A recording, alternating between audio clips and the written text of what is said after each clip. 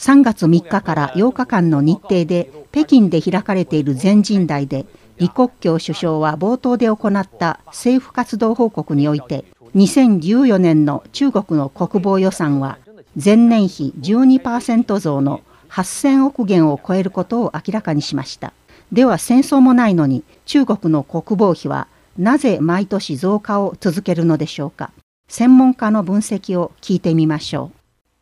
李首相は5日の政府活動報告において中国の2014年の国防予算は前年比12.2%増の8082億元になることを明らかにしました。中国の国防費は2011年で前年比12.7%増、2012年は11.2%増、2013年は10.7%増と連続4年2桁増となっています。当局は軍の最新鋭装備の導入のためだと説明しています。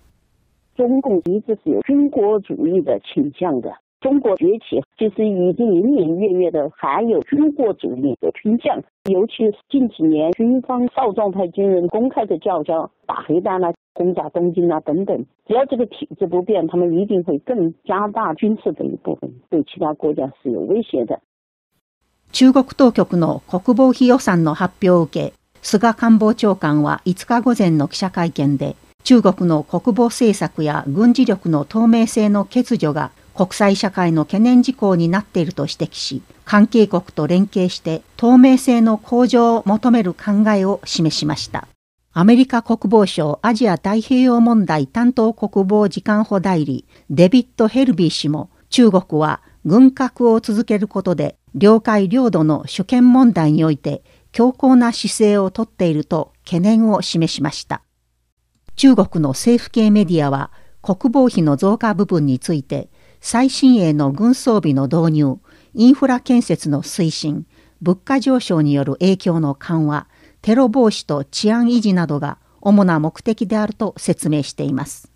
一方、香港には1997年7月1日から陸軍と海軍、空軍を含めておよそ6000人が駐屯しています。我们不相信任何一个地方会对香港进行侵犯。那么你驻军队在这边是什么意思呢？现在中国的政治架构还是集权社会，那么他的军队也是一真正暴力机器的一部分。中国的国家机器，这个就说也有对内的一面。このほか、2012年から東シナ海、南シナ海における主権問題で中国と周辺国の摩擦はますます増えています。これも国防費増加の原因の一つであると言われます。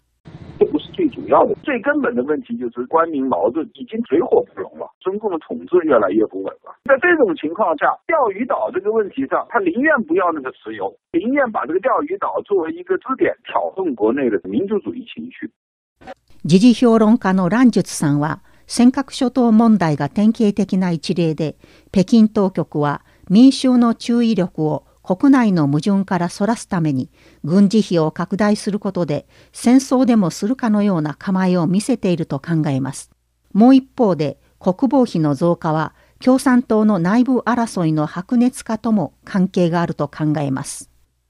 中共高层各个集团之间在利益分赃上越来越难以平衡，需要控制军队，所以大家都愿意给军队增加军费，讨好军队。啊，控制了军队以后，他才能控制最高权力。从去年到今年，它的增长速度比较快，说明第五代上台以后，中共内部各个派系之间的斗争大大的加强了。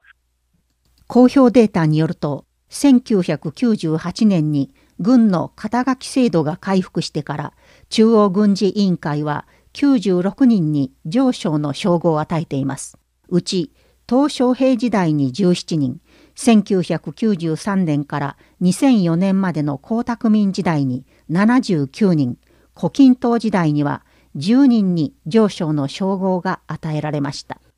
ウォール・ストリート・ジャーナルは国際戦略研究所のジョン・チップマン所長の話を引用し、衝突を伴う領土の主権争い、及び長期にわたって衝突のリスクのある地域において、中国の軍事支出の増加によって軍備拡張に拍車がかかると述べました。ドイツメディアも中国の大幅な国防費の増加はアジアの軍備競争を刺激するだろうと伝えています。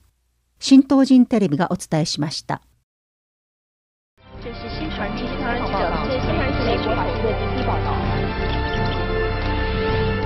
听到妈妈被打，每十人来说的为什么奥运火鸡的传递？当地星期五公布的。有人说他就是专制统治，正处于危险期，行大于加法。